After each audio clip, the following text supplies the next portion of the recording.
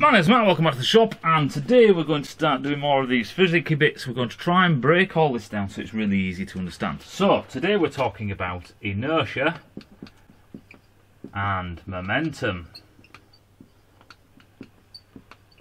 What is the difference between the two? So this is all to do with that crazy bastard, Isaac Newton, he started all this off the fucker. There were other ideas before that, but he was the basically the one that basically made sense of it all. Um, so that's why we have part of classical mechanics and um, what's the word now? Newtonian physics. That's the one. and why force is Newton's and so on, which kind of tells you a bit before we even get into it. So, in basic terms, for those guys who you know fucking can't remember any of this or didn't even do this, inertia we can basically say is mass, the mass of something. Now that is not weight, so it is not weight. Weight is basically what you experience in a gravitational well, so on Earth, on Mars, on the Moon. Weight always changes where the mass of an object, unless you chop it in half, doesn't. So mass, in a sense, is how much stuff. And when we say stuff, we mean matter. And when we say matter, we mean atoms, basically. Oh, um, hadrons and baryons and blah blah blah blah blah. But anyway, let's cut that shit bit out. So yeah, so inertia is about mass. It's not the mass. It's how much stuff there is matter, which is basically atoms, the stuff you have. So inertia is the base. How can I describe this? If you have a ball and this is steel, it's a steel ball. This ball, and let's just the weight thing. Let's just say it has a, a mass of one kilograms. Um, this ball will require force to move it, to change its velocity. So let's say its velocity is zero meters per second. That's wrong, fucking hell. zero meters per second, there we go. Its velocity is zero, this is what we call the rest mass. And we have to apply a force to this to accelerate it, to basically change this velocity. So we want this force to give it a um, oh fucking hell a change in velocity over time change in time this is basically equals an acceleration um, so we need to uh, force we need to apply forces to move stuff. The more mass something has the more force is required now this is obviously basic stuff. You try and push a lorry or push a beach ball. So its inertia is its resistance to move. What is important here is in it's also its um, it's a vector quantity, which basically means that you have to apply a force to make it go that way. If you want to make it go another way, you also have to uh, apply a force because it will resist doing that. If you get, I was going to say a ball, but if you get a conrod and you fucking leg this out of the ISS, or maybe you go into interstellar space, wherever, and you chuck that rod in space, this rod will continue to fly through space forever until something affects it, or the um, half-life of protons makes it dissolve after trillions and trillions of years. But yeah, you throw it and it'll carry on going until something either gets in its way or applies a force to it um, it will just continue to go as long as it doesn't hit anything or go too close to stars or whatever because of gravitational wells and all that kind of shite it will keep on going forever and you have to apply a force to it to make it change direction and you might think well this is all basic why did this guy why did newton have to write all this stuff down well because um, you know it's like when you spin something it will eventually slow down. So why is it slowing down? Why is it changing velocity? Why is it accelerating? It's slowing down. Um, because obviously something, air resistance, uh, gravity, and uh, the, but the gravitational load is basically forcing it into its bearings, which is friction. And friction and stuff like all these parasitic losses, that's why it loses its speed, um, loses its velocity. It starts to accelerate, which is slowing down, and uh, so you can tell there's a force acting upon it. If you know that things should just carry on going the way they're going, that's something spinning is um, rotational inertia, which we'll get to. So what's the difference between this and momentum? So Now it's time for ice cream. Or maybe some nuts. A cool glass of orange. Why not try a hot dog? Or the real thing, a cool, refreshing Coca-Cola. From the sales staff and in the foyer. Now.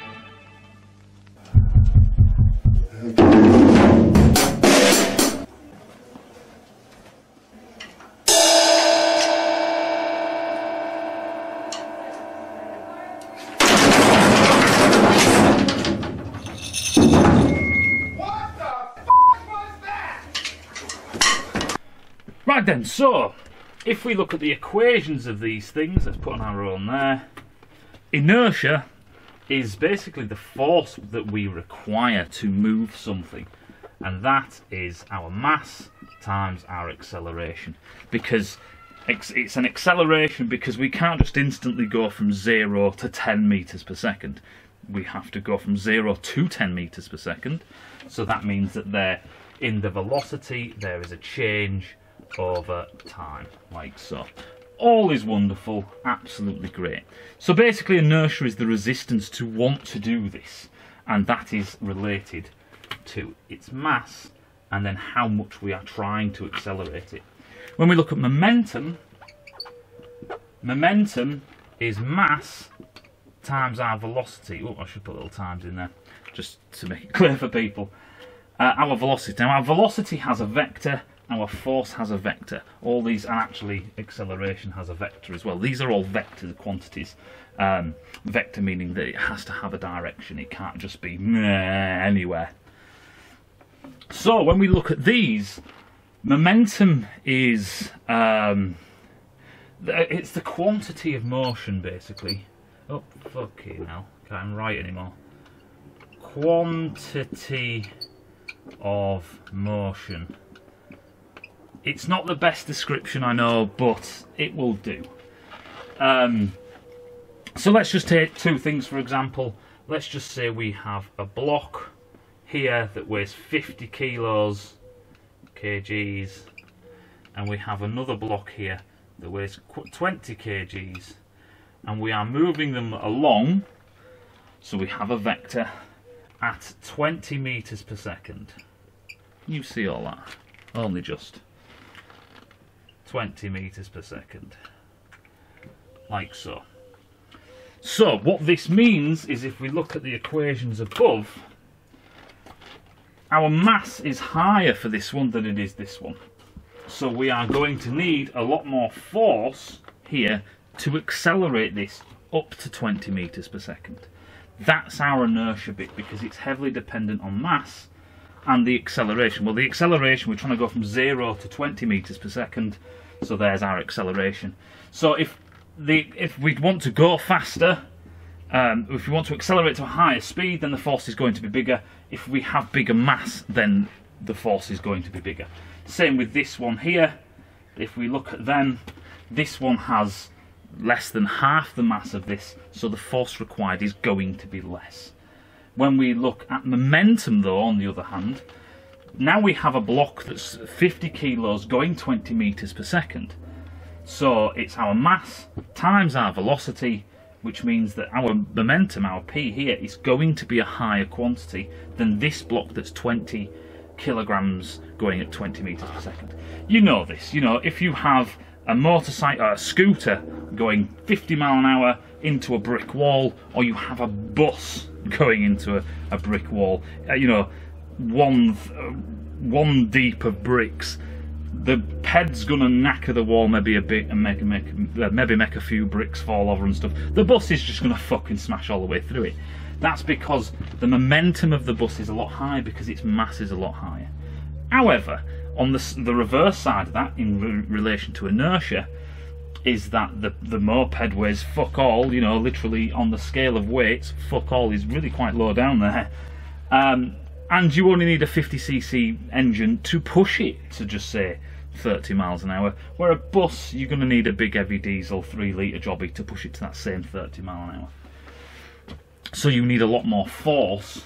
If that force is torque or not, it doesn't really matter. You can you can push it with something else. Um, so this is the big difference between the two. When we get to engines and stuff, we are talking about when we're talking about the actual engine, we're talking about rotational um, inertia and ang- uh, rotational inertia and angular momentum, which we'll get to um, because they are a bit different. Um, it's not as simple as this. Let's put it that way. And uh, when we actually get into a motorbike going across the surface of the earth, then we're basically back to all this linear stuff until we start turning corners. Then we have to get back to angular momentum and rotational, um, not rotational, not rotational velocity, uh, inertia and momentum, basically. Um, so this is the difference between the two. One is how much uh, force do you require to accelerate a mass. The other one is when that thing is moving, how much movement does it have for its weight if you get what I mean basically you can basically work out the energy this is the this is the energy required to work out how much energy you need to push something let me start that again. Fucking hell. Inertia is the amount of energy you require to push something. Momentum in a sense is the amount of energy something has once it's moving. Now people get people think about um, kinetic energy, potential energy, stuff like that. These are actually energy values where momentum, um, momentum and energy are very, very closely related through um, through uh, conservation of momentum and conservation of energy, stuff like that. We'll talk about conservation of momentum because that's quite cool. Um, because that actually does um, relate to engines and stuff and all the rest of it as well. Hope that makes sense.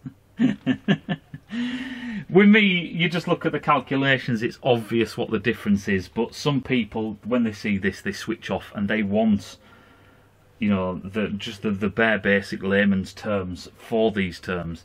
And, you know, sometimes it can get a bit difficult to uh, try and get out of this mindset of, well, duh, and try and explain it in a way that makes sense. Hope that makes sense, and I'll see you in a bit. Fucking hell. Whew. God, anyone who thinks this is easy, they can give it a go. Fuck me.